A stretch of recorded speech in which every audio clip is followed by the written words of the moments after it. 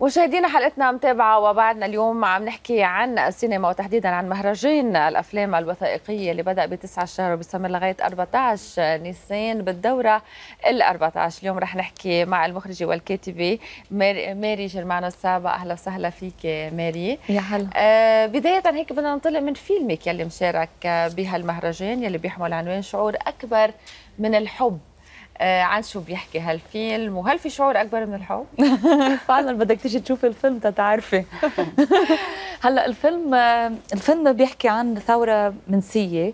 بيحكي فعلا بالحد ذات عن اضرابين آه بالسبعينات اللي هن كانوا أهم حدثين. صاروا اضراب بمعمل غندور وانتفاضة مزارعين التبغ بنبطية.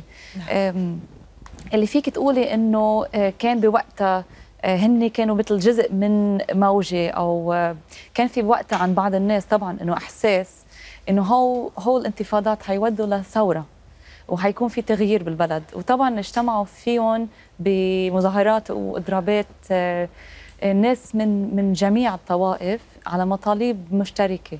ف كانوا فيلم رح نشوف سوا تريلر الفيلم ومنتابع الحديث. الرجال كانوا قدامنا والنسوان كانوا ورا وقفوا على البوابة وما كانوا يخلوهن الجيش يفوتوا جوات البوابة. على قربوا يا حرام يحترموهم. قالوا يا عمي النسوان تفوت هي بيحترموهن أكثر. إيه. هلا من قد من الرجال قوي. بعد الرجال وفاتت النسوان. بلشوا فينا بكعب البوارات. مش يا ست ارحميني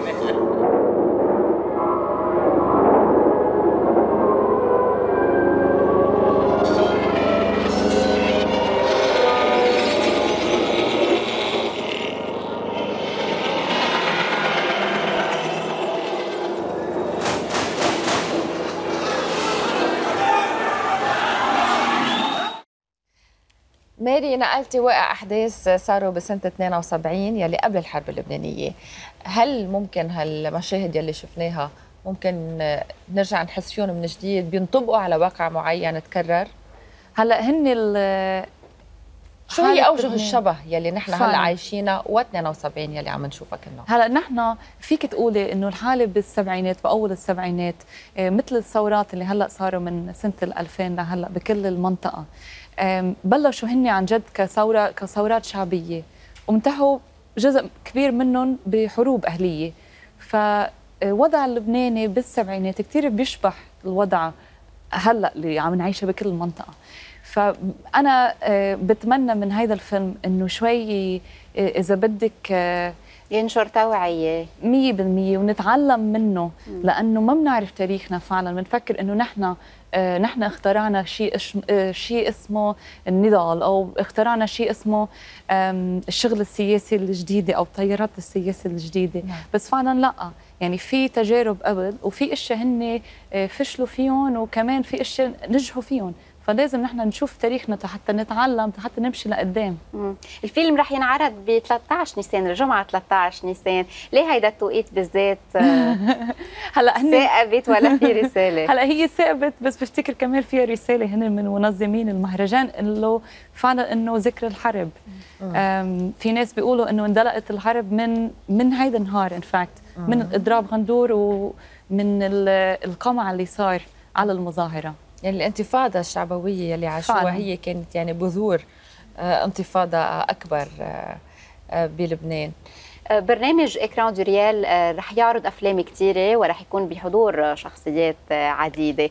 برأيك شو اللي بيميز المهرجان هيدي السنة عن باقي السنين؟ هلا هيدا المهرجان دائما كثير حلو لأنه فيه كثير إذا بدك فيك تقولي إنه the most innovative أفلام ال documentaries إيه من كل العالم. فهيدا الحلو اللي فيه إنه بتحضري أشياء ما ممكن تشوفيه بمحل تاني ولا بمهرجانات تانية مم. الأفلام الموجودة بالمهرجان ما بنشوفها بصالات السينما بتكون أفلام مش تجارية لا هي أفلام مثل ما قلتي يعني مش مم. تجارية ولكن في ثلاث أفلام لبنانية فيمكن هو يرجعوا ينزلوا بالسينما بس مم. ما بعرف هل انتقال الافلام لحتى يكونوا موجودين عم نحكي نحن سنويا كل دورة بيكون في يمكن صعوبة باختيار الأفلام هل السنة واجهتوا هالمشكلة ولا كانت تلقائية نحن عارفين نحن شو بدنا نعرض.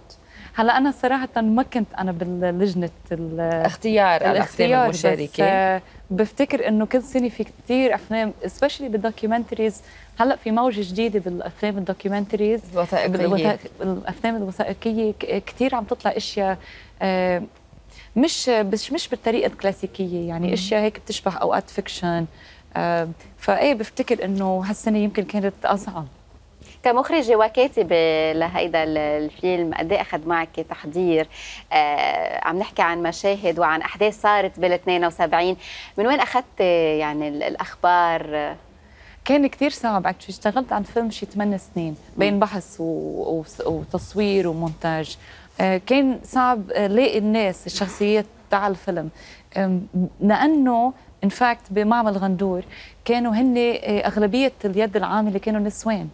بس آه، بتعرفي من بسبب الحرب وال- والنزوح اللي صار كثير كان صعب لاقي ناس أول شيء هون نسوان اللي شاركوا بالإضرابات وثاني شيء إنه أمنعهم إنه إنه يبينوا معي يعني إنه يتصوروا أو يحكوا معي.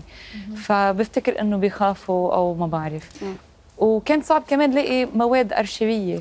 ما في ولا صور ولا ولا فيديو. ولا شيء تسجيل يعني انجا في كتاب. آه، بيحكي عن هول. هلا مش إنه في شوية كتب بس إنه ما كثير و... ومثل ما أنتم بتعرفوا يعني قليل ما بنعرف عن هيدا التاريخ.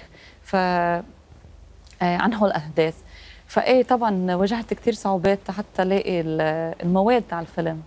بس أكيد حلو كتير إنه نرجع نتابع كل الأحداث اللي صاروا من حوالي أكثر من 40 سنة وحضرتك عم بتضوي عليهم. بدنا نتمنى لك كل التوفيق الكاتبة والمخرجة ما- ماري جرمانو السابق. أهلا وسهلا فيك بتحلى يا هلا. مشاهدينا نحن متابعين معكم باقي فقراتنا وضيوفنا بعد البريك. انطرونا.